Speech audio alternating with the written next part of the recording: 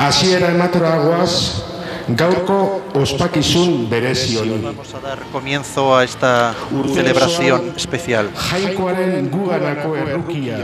Durante todo este año, esa misericordia de Dios para con nosotros va a ser nuestro tema de reflexión. Con la palabra misericordia está unido también la palabra perdón, amor. Que el Espíritu del Señor nos lleve a conocer y a profundizar en esa relación que Dios tiene con nosotros y que refuerce en nosotros la confianza hacia Dios. Comenzamos la celebración cantando, vamos cantando al Señor, Él es nuestra alegría. one.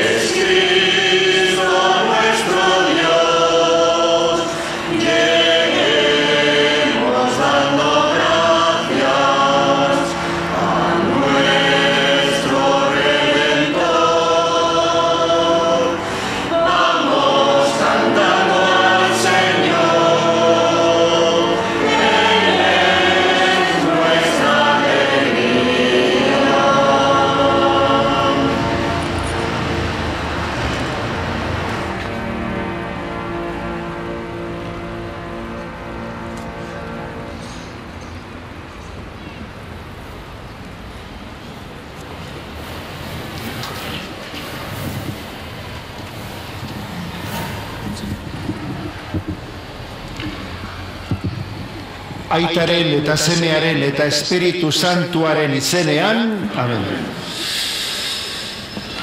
Gu salbatzera datorren jauna, izan El Dios que viene a salvarnos esté con todos vosotros.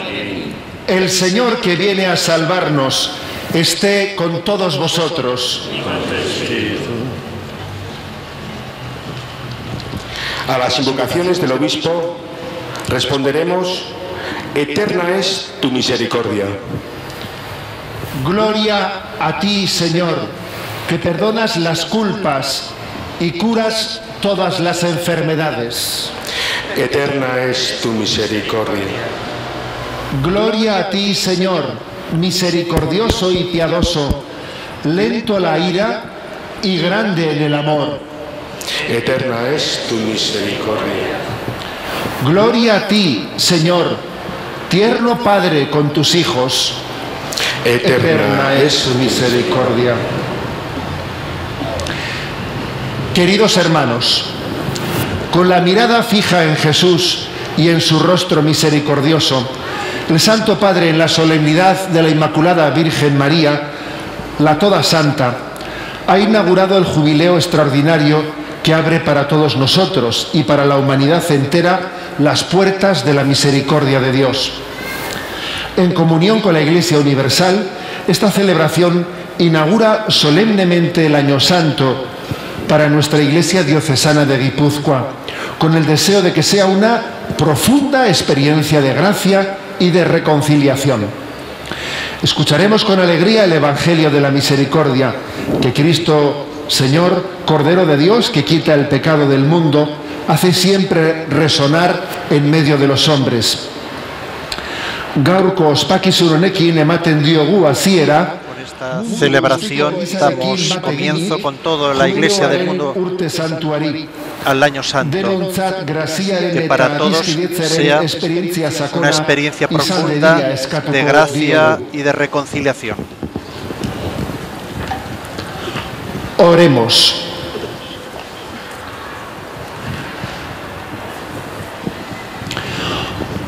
Oh Dios, origen de la verdadera libertad, que quieres que todos los hombres constituyan un solo pueblo libre de toda esclavitud y que nos concedes este tiempo jubilar de gracia y de bendición.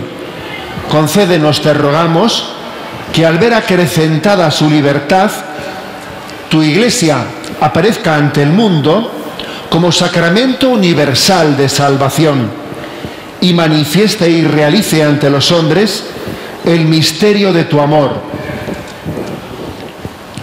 Por Jesucristo nuestro Señor.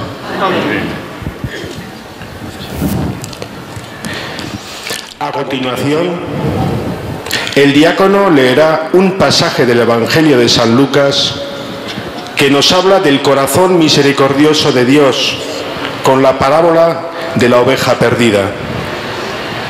Jainkoak bihotzonez eta errukitzuz onartzen gaituela esango digu Jesusek.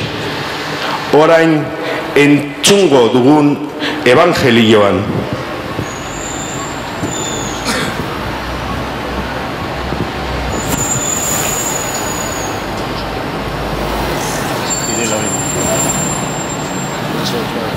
El diácono pide la bendición al obispo para proclamar el Evangelio. Es un diácono permanente de la diócesis de San Sebastián, Miquel Iraundegui. El Señor esté con vosotros. No, no es, no es Miquel, es otro diácono. Proclamación del Santo Evangelio según San Lucas.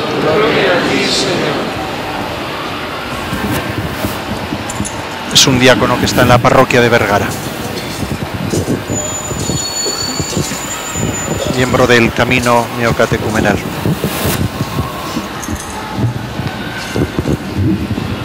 En aquel tiempo solían acercarse a Jesús los publicanos y los pecadores a escucharle. Y los fariseos y los escribas murmuraban entre ellos. Ese acoge a los pecadores y come con ellos. Jesús les dijo esta parábola. Si uno de vosotros tiene cien ovejas y se le pierde una, no deja las 99 en el campo y va tras la descarriada hasta que la encuentra y cuando la encuentra se la carga sobre los hombros muy contento y al llegar a casa reúne a los amigos y a los vecinos para decirles, felicitadme, he encontrado la oveja que se me había perdido. Os digo que así también habrá más alegría en el cielo por un solo pecador que se convierta que por 99 justos que no necesitan convertirse. Y si una mujer tiene 10 monedas y se le pierde una, no enciende una lámpara y barre la casa y busca con cuidado hasta que la encuentra y cuando la encuentra reúne a las amigas y a las vecinas para decirles, felicitadme, he encontrado la moneda que se me había perdido. Os digo que la misma alegría habrá entre los ángeles de Dios por un solo pecador que se convierta. Palabra del Señor. Gloria a ti, Señor Jesús.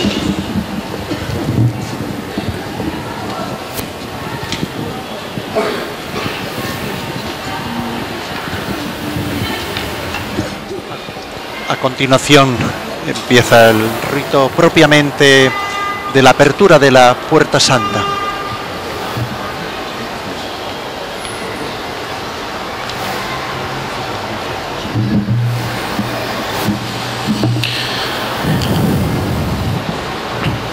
Indulgentziaren ate santua izango dena irekitzeko oikunia egingo du orain gotzainak. El obispo hará el signo de la apertura de la Puerta Dice Jesús Santa. en el Evangelio, yo soy la puerta, quien entra por mí se salvará. La gracia del jubileo se obtiene en la medida en que entremos por esa puerta que es Cristo y su mensaje de salvación.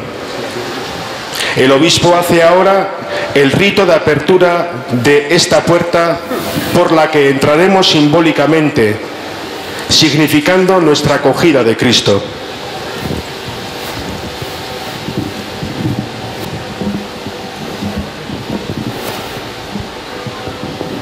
Como pueden ver los televidentes, se acerca el obispo a la puerta santa, la puerta que si miramos a la catedral está a la derecha. Durante todo el año, como podrán ver en nuestras cámaras ahora mismo, esos signos, el logotipo del año santo será quien señale esa puerta santa que estará permanentemente abierta.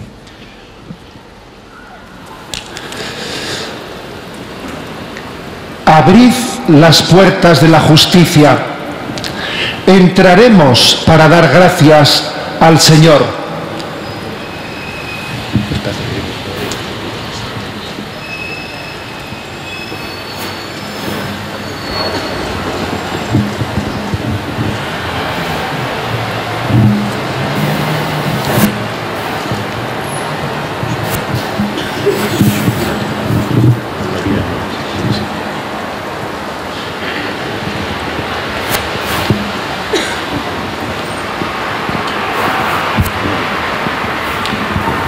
Hau da hau da jaunaren atea. Ate honetatik sartuko gera errukia eta barkamena iristeko.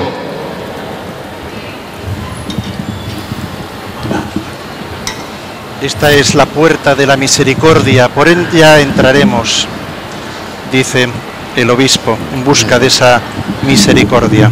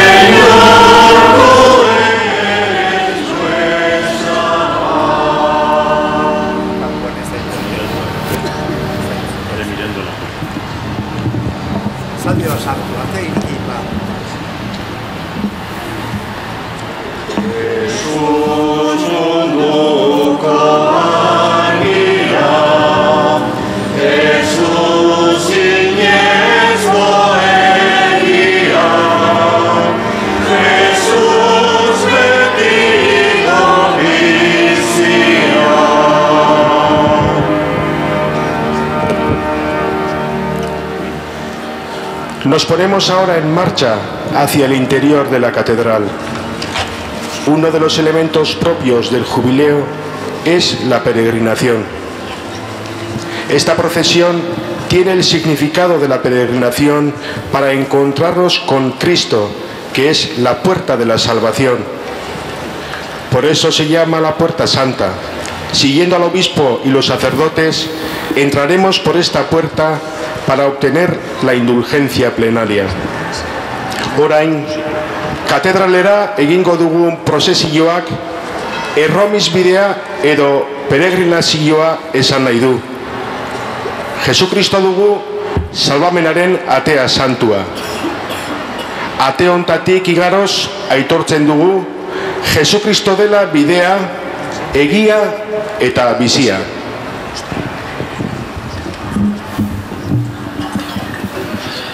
Hermanos, pongámonos en camino en el nombre de Cristo. Él es la vía que nos conduce en este año de gracia y de misericordia. Senideok, había gaitesen Kristoren izenean, bera dugu graziaren eta errukiaren urte honetan gidaria.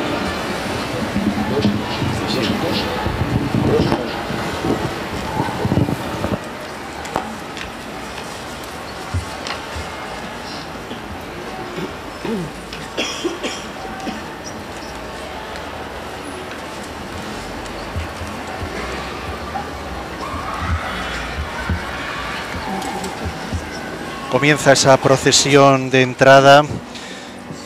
Hay mucha gente que no ha salido al exterior, que esperan la procesión en el interior, muchos aprovechando también a confesarse y esta asamblea recibe ahora la procesión de entrada. Todos los que estaban en el interior seguían todo lo que estaba en el exterior a través de una pantalla gigante que se ha colocado en el interior de la catedral, siguiendo estas mismas imágenes que están ustedes viendo a través de Teledonosti.